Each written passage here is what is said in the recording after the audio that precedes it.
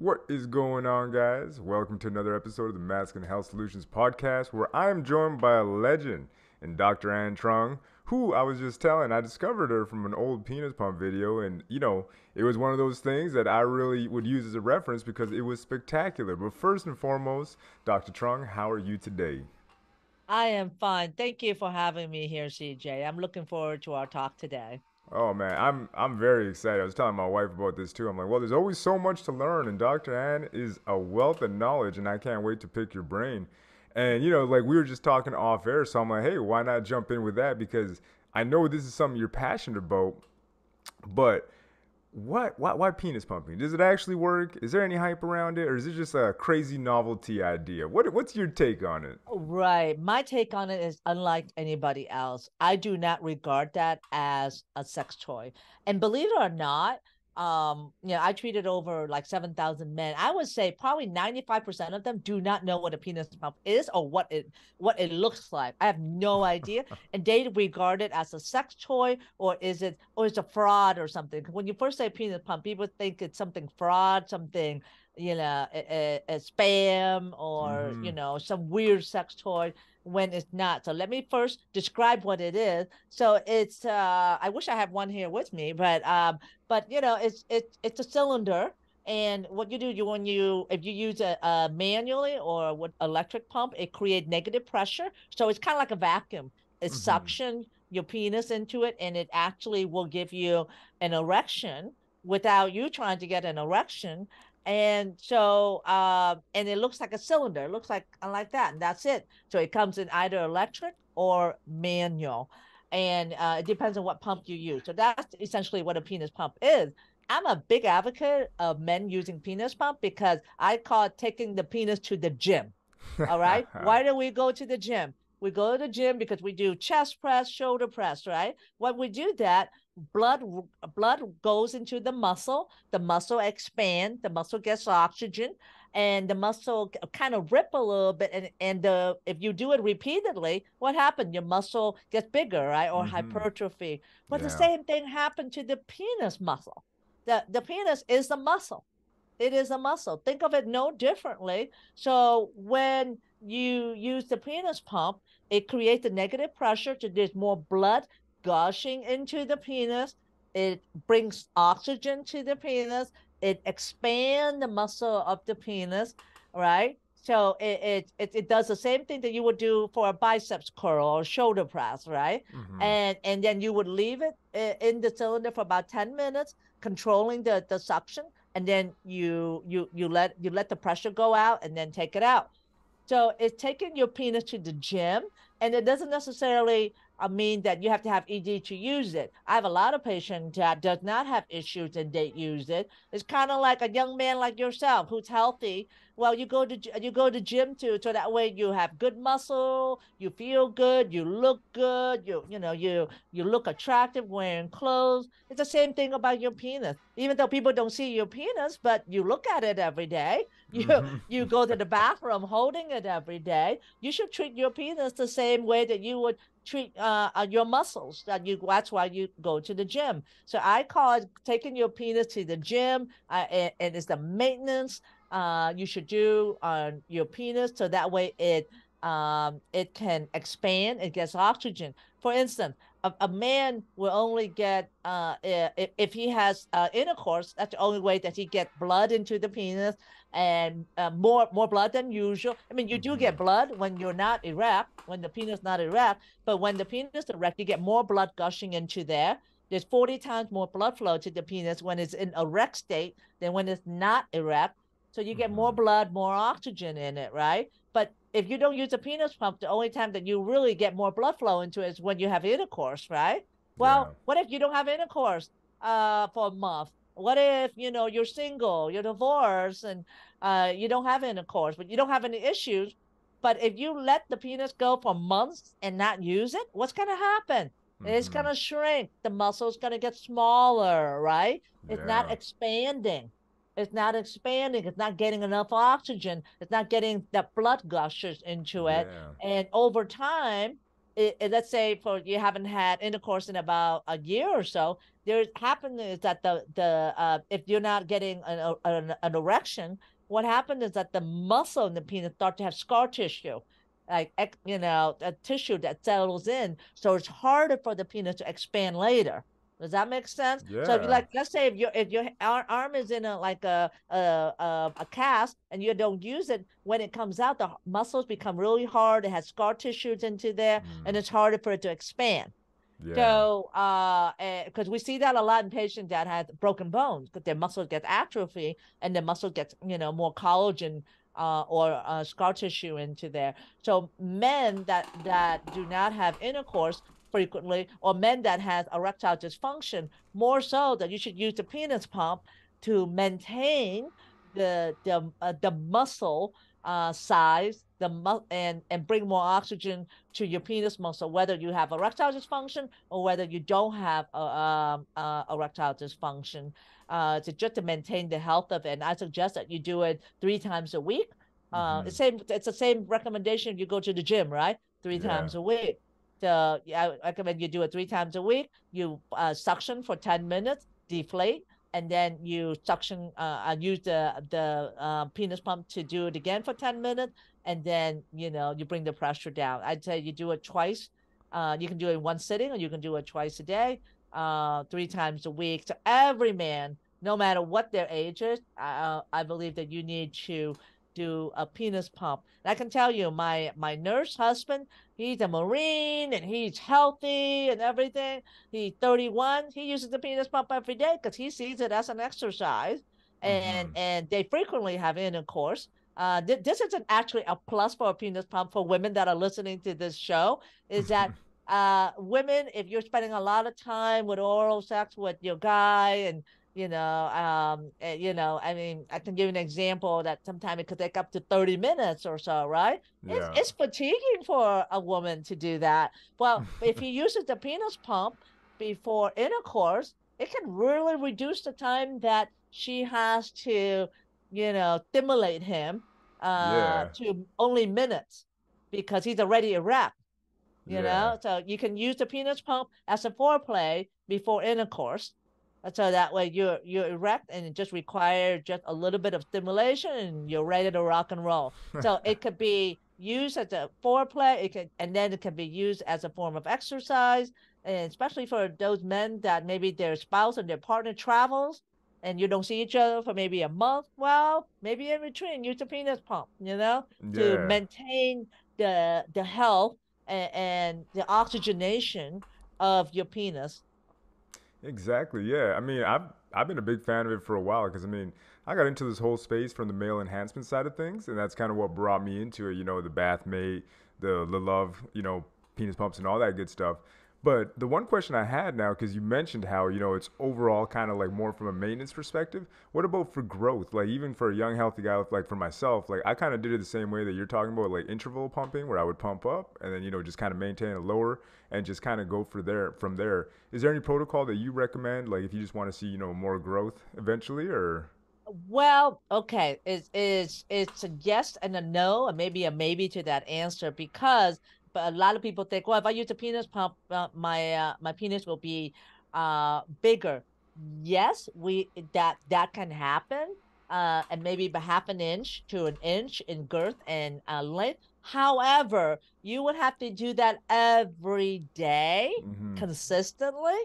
Okay, you have to do that every day consistently, and if you stop, even if you stop for like a week or or so, uh, or, you know, I would say if you stop for like three weeks, the, the penis will go back to its uh, original size before you pump. So it's it's kind of like going to the gym for your muscles, right? Yeah. So if you go to the gym frequently, you're gonna have that muscle bulk. But let's say you don't go to the gym in about three weeks or a month or so. What happens? Those muscles start to kind of, you know, yeah. uh, get less bulky, right? Mm-hmm. Well, same thing with the penis. So if you do that, then you will see the increase in size, but no more than about an inch, no more uh, yeah. than about an inch, maybe an inch and a half uh, but you have to do it every day to have that effect. So that's why the answer is yes, you can, but you have to do it a lot. You have to do it like every day. You have to be consistent with it. Um, but but you know, just know that for to if you are you know male to female, that is the girth that count, not so much the length that Mhm. count in stimulating your partner. Uh, Yeah. so so you know you want to be careful of that. Some you know I've I've seen some patient that you know like oh I'm eight inches long and six uh, and five five inches in girth. I want more. I'm like God, you know I I- I don't know if any woman can handle that. You know because the length the length is when it gets longer, it's gonna hit the um, the cervix. Uh, you Mhm. know, which is the opening of the uterus inside the, the, the vagina canal. That's gonna hurt the woman, right? So it, that's the, when it's too long. It's the girth is what's stimulatory because um, all, all the uh, sensation or the feeling uh, is on the opening of the vagina, just like about maybe an inch inside, and that's where uh, and, and that's where the G spot is, about inch uh, or two Mhm. in on the top of the vaginal uh, canal. So you don't you don't need to have eight inch. You know, uh, a small penis is defined as less than three inch. Mhm. Um, and so most most men when they're not erect is you know three inch or more. So uh, it doesn't mean. And sometimes there's a fallacy thinking that if you're small when you're when you're uh, not erect or flaccid, that you're going to be small when you're erect. That's not true Mhm. right because some men can remember the penis when it's erected it uh, has 40 times more blood flow 40 times yeah. yeah that's a lot of blood flow right Yeah. so when you're small when you're when when it looks like you're kind of small when essentiality when you're erect it's totally different Yeah. or necessarily if a guy is uh, you know somewhat you know large when he's not erect doesn't mean that he's gonna be very large when when he erect does that does that make oh, sense 100%. it, yeah. it, it it's really is relative. So you could be like maybe five inch when you're not erect, but you can only six inch or six and a half when you're erect. Or another guy that can be four inch when he's not erect could be six and a half inch when he's Mhm. erect. Uh, and Yeah. it it all depends upon your mu- your your muscle flexibility down there, and and gen- some of it is genetic component. But back to the point of penis pump, it it is for to, to for the health of your penis. I believe every man should uh know about it and use it, and it's not shameful at all. Take that Mhm. shame away. You know, it's like brushing your teeth.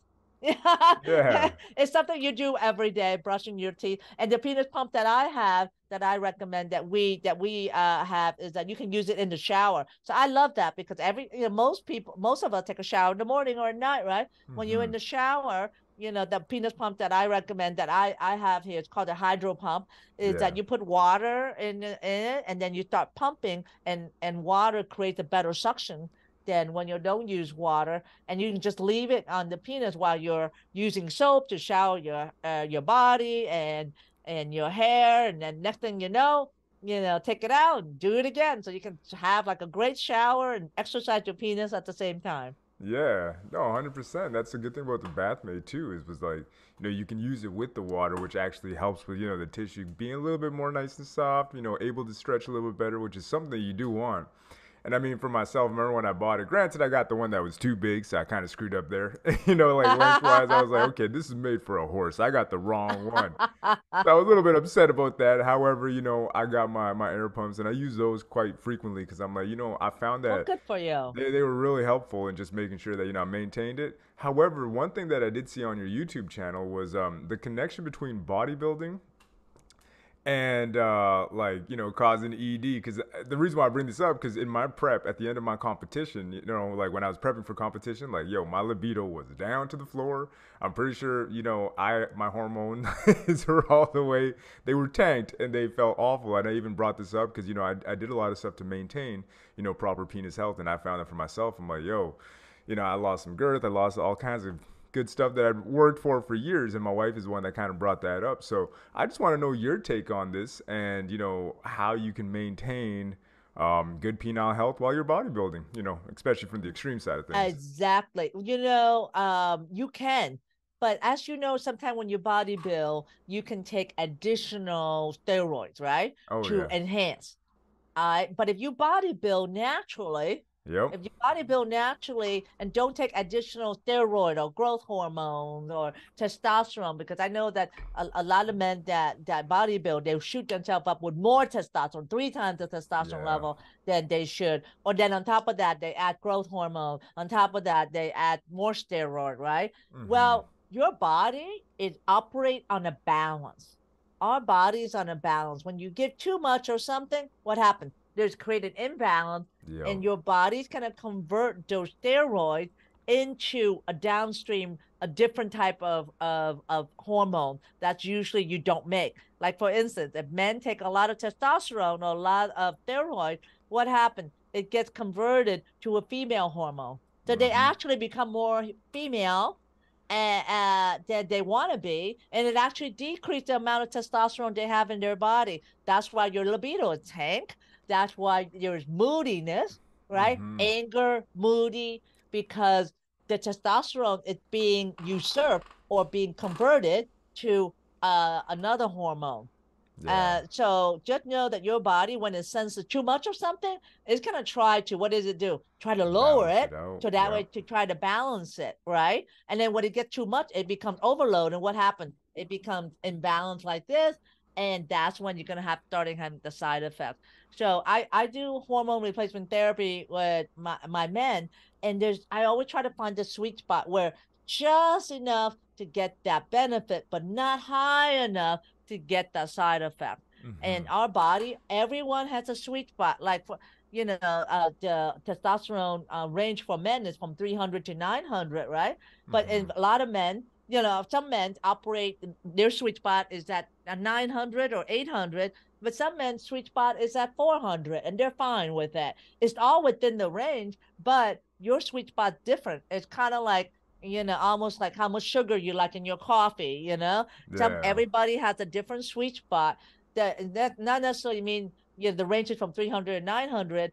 But and, and if the doctor measure and you're at 500, but you feel crappy, you know, you have low libido, you have you don't have a good erection, and you feel tired, and you and you get uh, and you're constant, you're not focused. Well, it makes just mean that may, may, maybe you're just a high operator and you need to be a 700 and Mhm. dead. But when you drop down to 500, you're starting to feel that, even though it's still within normal range, but that's not normal for you. Yeah. So that's the whole point I'm, I'm trying to explain to men is that everybody operate in a sweet, a different sweet zone.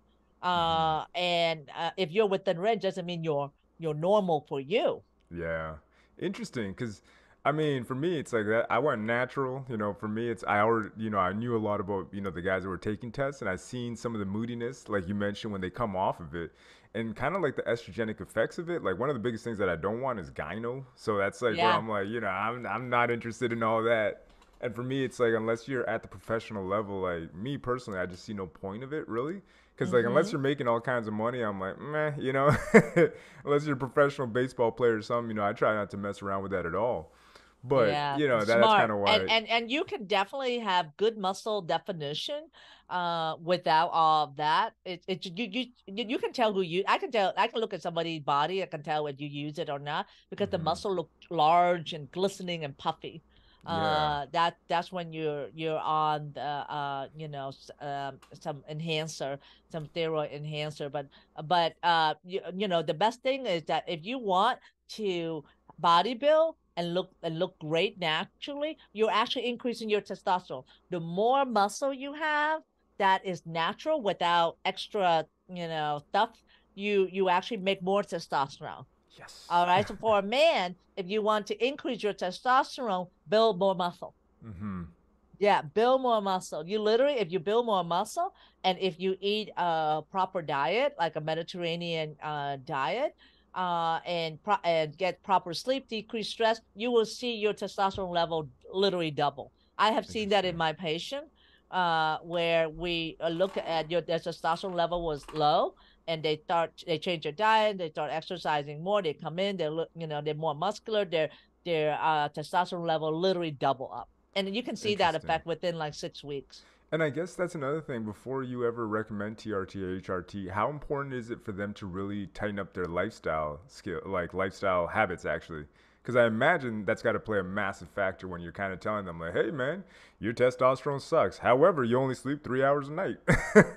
yeah. No, absolutely. So when I recommend TRT, I recommend the whole holistic approach because mm-hmm. I believe that you, for a man, especially for a man, those listeners that are listening, you're and for women too, diet is critical mm-hmm. for your sex life, and diet is critical for your testosterone. So if you eat a healthy diet, you're most likely going to have a good testosterone level. And what I mean by healthy, more fruits, vegetables, uh, lean meat.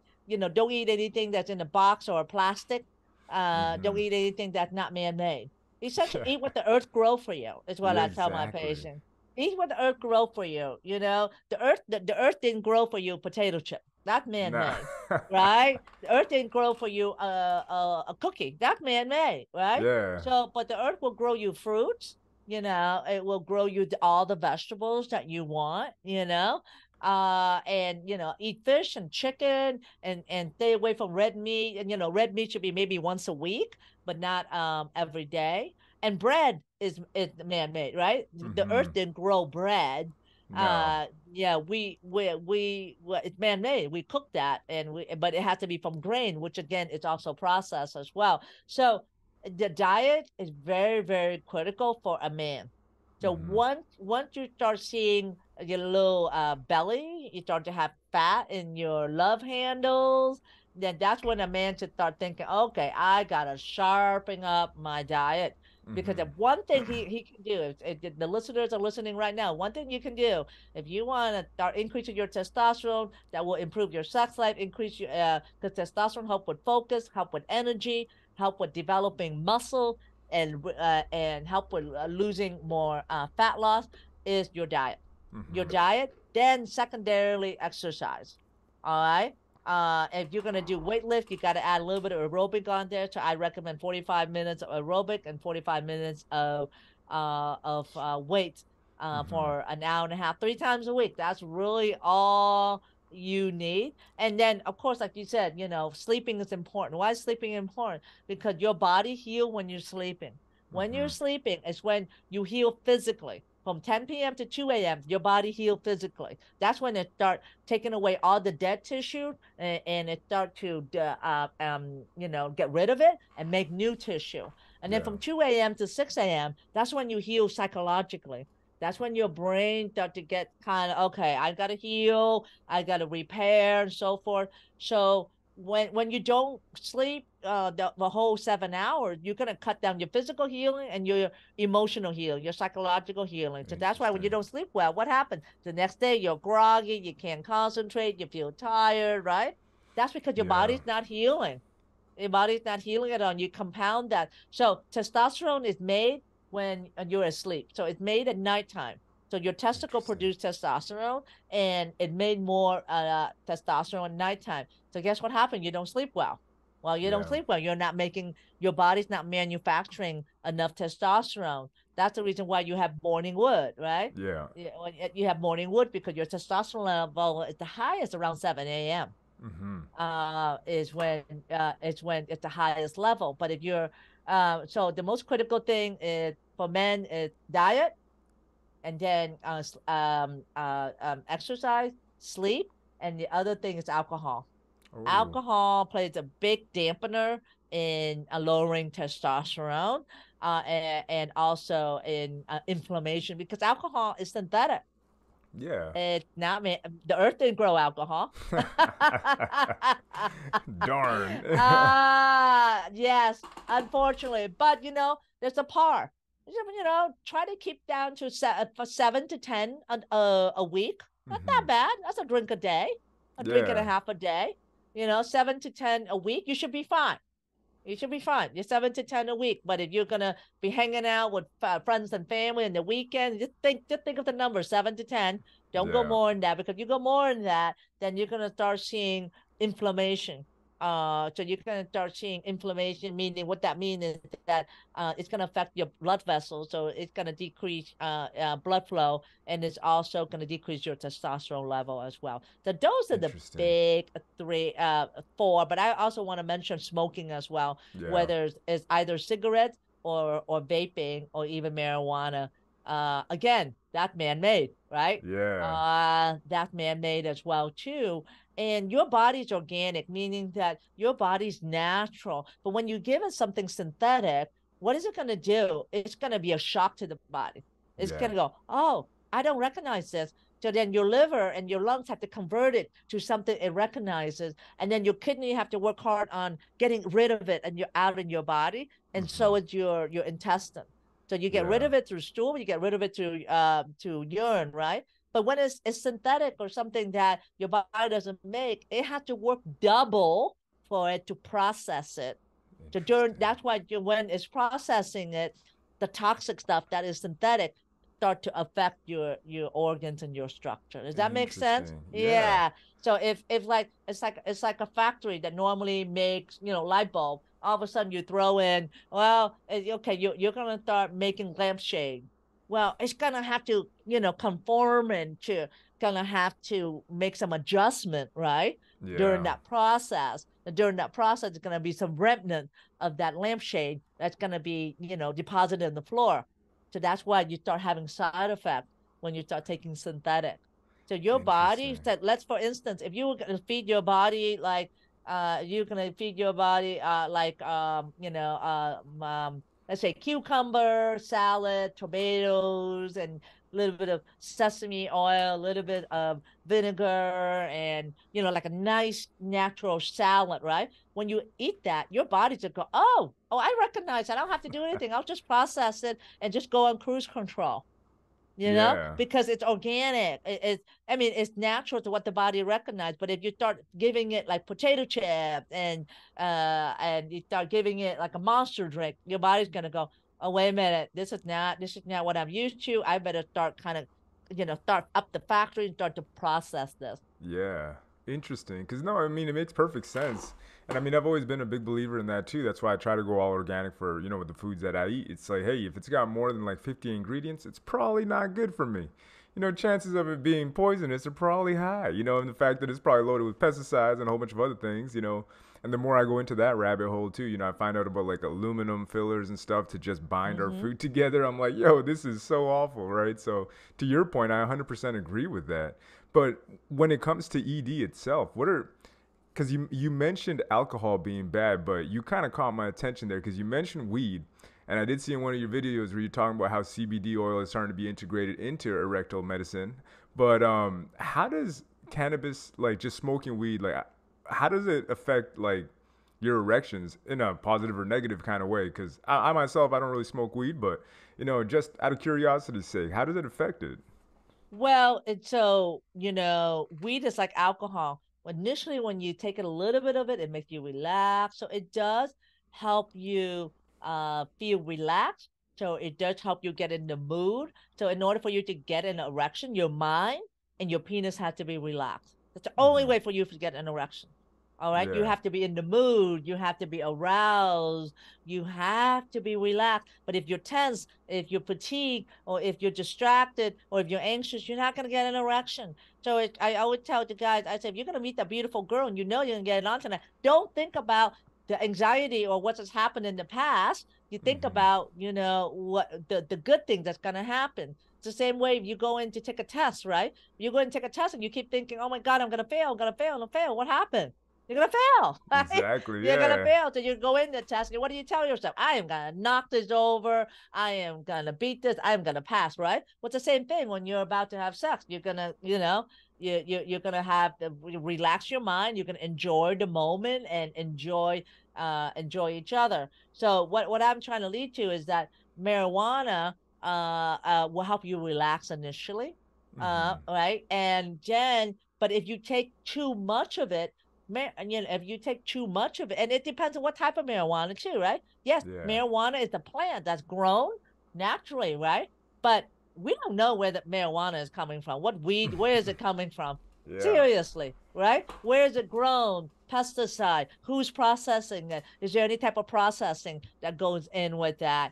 You know, and and I think I think vaping is even worse off the nicotine or even marijuana because vape is totally synthetic, right? It's, Yeah. It's. I mean. like uh, it's it's synthetic, and you're you're trying to put something synthetic in your lungs Your lung is the most sensitive mucous membrane in the whole entire body.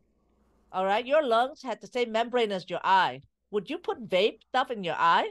No. No. Why would you do that to your lungs? Because the, the it's the same membrane. It's the same cell that is in your eye as it is in your lung. So when you smoke, you inhale that vapor, it goes in your lung. What do you think happened? Right? So that Yeah. can cause tissue damage in the lining of the lung. So the same way with marijuana, you know, marijuana is a smoke that you inhale. So when you inhale smoke, that's toxic to the lungs. Yeah. All right, so that's toxic to the lung, and you know, so there's that little thing, a little bit make you relax. Maybe you should stop. But if you do it every day, it's gonna be toxic to the lung. And what makes oxygen in your body? Your lungs. Your lungs. Right? Yeah. Your your lungs is what gives you more oxygen. So the more you inhale, the less the oxygen you're gonna you're gonna uh, produce for your body. So your so your organs and so forth not gonna get enough oxygen. All right Mhm. yeah so that's not good for the health of, of your organs especially in your brain and especially in your heart and and then especially in your penis which need more blood flow remember i keep reverting back to when you get an erection It's you 40 get times. 40 times more blood flow Uh-huh. so so what do you need those blood those blood vessels in the uh, penis to be very healthy yeah. you need it to be very healthy so it can expand 40 times Yeah. you see, so that's how weed or even nicotine or even um, vaping and the vapor affect uh, uh, can uh, can affect um, um, you know erection because of the toxic nature of the lung not being able to extract enough oxygen, and then it affect it's a downstream effect of affecting all the blood vessels as well too. So That's super interesting. I mean, I've always been in the same boat. I'm like, when it comes to like me, I personally, I love cigarettes, but I try not to smoke them. But I love cigarettes. You know, like I've always loved. I mean, since I was like 18, right? But I'm like, you know what? I know this isn't good for me, so I'm not going to smoke it. But you know, now when you know I go to work in other places, I see all these kids smoking those vapes, right? And I'm like, in my mind, I'm just like, this looks like it's even worse than cigarettes because cigarettes is tobacco and all that other stuff, which is not good for you, right? And I know this, everybody knows this. But the thing is, it's kind of when I see these vapors, right? It's like you charge it in like a Bluetooth USB type thing. And then I see the oil, which is like some resin. I'm like, this looks like it's, you know, potentially worse, man. Like, the amount of Yeah. smoke that comes out. And I asked the guy, I'm like, yo, bro, this smells like, you know, Cheerios or something. He's like, yeah, man, vaping is good for you. But my question now is, what's going to happen with this generation of vapors and what do you foresee in the future, you know, just in regards to their health? Like, obviously, you know, from a perspective of like erectile issues, you know, I see that in the future. But Mm-hmm. Yeah. what are some of the other issues that you, you think are probably going to happen if you could predict well, yeah, to like you're, lungs we're, we're, probably gonna see we're probably gonna see more lung lung damage uh, in Mhm. younger a younger uh population more than ever. We're Mhm. gonna see the lung damage. So why why is it, uh uh, and then we're probably gonna see more inflammation. Uh, so that's gonna lead to when you have inflammation, that's gonna lead to decreased uh, hormone and decrease uh, uh decreased healing. So you're gonna start seeing more chronic diseases like high blood pressure. You're gonna start seeing diabetes earlier, and uh, those our population. Uh, yeah, you're gonna start seeing that. You're gonna probably see cognitive decline or brain function decline earlier. Normally, you would see that around maybe 80s, and somebody that's in the 80s. Now you may see that earlier, uh, as well too. I mean, I'm starting to see uh, men in their 20s with ED, uh, Jeez. because of uh, smoking. Well, they're, you know, because now I, I mean, I'm, I'm some of my patients that I see, they, they say when they're 20, they would put a marijuana along with a tobacco and wrap it up and smoke it at the same time, Yeah, split. right? Yeah. Yeah, yeah, right. And, and you know, one of my patients smoked like this big, you know, like a thou- like you know, once a day with those combination, and then he drinks a lot of alcohol every day. Jeez. Uh, and uh, yeah, so those he said I was not a good boy, so he said that was he doing it every day. At at at 26, he had ED, but he has a body of uh, you know, of a builder. He has you know an eight pack, and he's all muscle, but he has ED because of the damage of of you know the combo of the nicotine and, and the marijuana and uh oh he was also smoke uh, yeah so smoking and also the uh, uh drinking alcohol as well to at the age of 26 Wow. yeah i took a picture of him because i said wait a minute i want to take a picture of you because your body looked pristine You know, your body is so healthy, but yet you're not healthy on the inside. So that's, That's what uh, that's what I'm trying to allude to with your question that you have is that Yeah. yeah, these people may look really healthy, but on the inside they're not at all. Hmm. And what the consequence will be that they'll, they'll have more lung damage uh, than you know uh, than uh, uh, people that doesn't smoke. Uh, and that's not good because what you know, COVID and what potential of other viruses that are coming out in the future.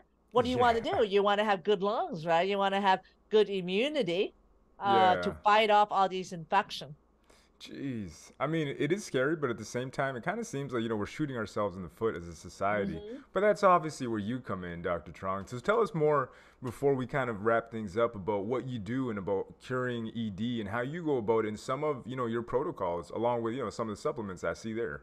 Yeah. So my approach, and that's why I'm so passionate about uh, particularly sexual health for men, because I feel that men are being brainwashed and thinking, you know what, in order for you to get an erection, you need a pill uh, uh, to help you get an erection. For me, it's like you need a pill to help your eye blink because uh no seriously because you laugh at that but you, i will tell you this the, the way the man body is made you are programmed to get an erection the Mhm. way that your body is made and how it is because it's an efficient machine because your body our body so women we are made to procreate we are made to carry on to have sex and carry on the humankind Mhm. all right. The way our mind thinks, the way our body is, is to carry on the humankind, to continue the humankind. All right. So, so having said that, you know, it is natural for you to get an erection. Men have a hundred times more testosterone level than a woman. Mhm. And when a man, uh, uh, um, you know, senses that he uh, his erection is not as good, it's really because there's an imbalance inside his body, something going on that's causing that. All right. Yeah. It's like all of a sudden, if you blink your eye, all of a sudden you can't blink your eye. It's because maybe there's an infection, maybe there's a sty or something. You want to look for the cause of that, right? Yeah. But we're- we're, not conditioned to think about that and that men that kind of like oh you know what i you know i'm i'm not as firm with the last you know the last girl i did it happened two times i'm to pop in viagra because you know that, that it's kind of like a natural choice right i'm going to Mhm. take viagra or cialis instead of like wait a minute stop and just kind of think well maybe there's something going on inside that's creating this imbalance. So i'm passionate about because my, my husband had uh ed uh, uh as well too because he was on heart medication and i'm passionate in changing the the the the thinking uh, that you you need to take a medication to to have to help you with your sex life and i want to create a revolution and changing our our thought about this. That you laugh when i said you need a medication for you to blink your eye. That's absolutely true. You know it's kind of like when you have chest pain right? Do you take a medication? You go online and try to take a medication to help you with your chest pain? No your Mhm. condition you take have chest pain you go to er right to make sure it's not your heart well it's the same thing men should start thinking hey you know what if if my if i'm not getting as i used to be well and you know the first thing i should do is go see the doctor and maybe get your blood work first Yeah. and and see what's going on to get my blood pressure checked to make sure I'm not a diabetic, check out my testosterone level, and then in, in start uh, introspection and thinking, well, how's my sleeping? Am I sleeping seven hours a day? Am I vaping, smoking? How's my alcohol intake? How's my diet? Am I exercising? If a man start thinking about that, when he first have ED, he will never, ever, ever need Viagra, and he will never need any other interventional treatment beside that. So, any man that listen to this, and if you are, if you are feel like you're having issues, and you know, start do introspection, and yeah, with what I just did, within maybe first three months of that, okay, and and and and stop getting, stop uh, get, uh, getting in your head thinking it it's you, because the more you think that you know you have an issue, the more you you your mind will make you believe that you have uh, an issue. It's all about positive thinking, right? Mhm. So my approach is, is comprehensive in that I feel that in order to uh, to treat ED, you have to heal from within with using those natural approach. That's why I have an uh, um an online uh a coaching program where I help men to kind of sort things out and kind of figure out uh, a path where they need to focus on to get themselves out of ED. It allows me to help men all over the world for this. And then if they need further treatment for, for like men that had been taking Viagra for 20 years or for 10 years, and then they find out that dose medicine doesn't do anything for them anymore, that's when they come to my office and we have a, a system, a treatment system that's called the Get Hard system, where I, I, I, where we treat, we, how we uh, restore erection again and get you out of ED is we use um, your own stem cell, um, um, and we harvest your own stem cell and uh, put that back into the penis to in, induce more blood flow. We do focused shockwave, which is uses sound wave technology Yeah. to repair the blood flow in the penis. And then we also uh, use Botox, uh, Botox, the same Botox that women get in their face for the Yeah. wrinkles. Well, because it relaxes the muscle. If we in, uh, we inject Botox into the penis, it relaxes the penis. Remember what I said earlier? In order for you to get an erection, your mind and your penis have to be relaxed. Well, we're Mhm. relaxing the penis for you. You don't have to worry about that anymore. You just got to worry work on your mind. And then we have supplements. And I believe in supplements with the one I have uh, here. And then we also give them an app so they they can start um, focusing on on diet uh, and exercise uh, changes and sleep monitoring. So I I treat from a comprehensive approach in healing from the inside out because that's the only way to get rid of ED. It's not taking medicine, guys. You know, some people are proud that they're taking 20 years, they're taking Viagra and it works. But it's kind of like, hello? Yeah, you it's like you should be proud of that. No, it shouldn't be a bad thing. You should say that you need that because you're essentially saying, "Oh, here's my sex life. I'm just gonna take take a pill because you know what? It's not gonna work uh, one day, and you're gonna end up with like, okay, uh, what am I gonna do? So now, you know, a pharmaceutical company and a doctor, you know, that do surgery now are put uh, are now well. You if you take uh, ED medicine, the next step is a penile replacement Oh surgery. my what? gosh. I know. I'm like, you know, you only have one penis, and you know, you want to replace it with some two silicone, uh, two silicone rod that goes in your penis. That is the most unnatural thing I can ever think of. Yeah. But now more and more men are getting that, and I and there's a lot of complication with that surgery. Uh, it, you because you also lose sensation too when you when you have the penile replacement surgery, and there's complications right? The penis is not made to have two silicone rod in it uh, to be used during intercourse. So that's why there's a lot of complications. But Yeah. now I, I see it being talked about as if, oh, you know, it's like pulling out your teeth. It's not. it's actually much more than that. You know, when you do a joint replacement surgery, you have two knees, two hips, right? But you only got one Yeah. penis. Yeah, I- I it don't doesn't want- go around, you're done. and I'm not looking forward to losing that. I'm trying to preserve it as best as possible. But Dr. and you Ann- can preserve it. You can Yes. preserve it, but you're just not taught that. It's kind of like you don't know what you don't know. And there's ignorance, right? We just Mhm. don't know, right? So any guy, any person that listens to this podcast can save their sex life, save their marriage, save their relationship Yeah. uh, as well. What I just outlined, honestly, what just outlined, if you just follow the five steps that I've given you, you will never need to have another medication again to help you get with your sex life. And that's a perfect way to end this podcast. Dr. Truong, this was an absolute pleasure. And I am going to have to have you on again because I still got more questions. But it was an absolute blast. And I just want to say thank you for coming on the show. Well, thank you for having me here. And until next time, guys, we'll see you then.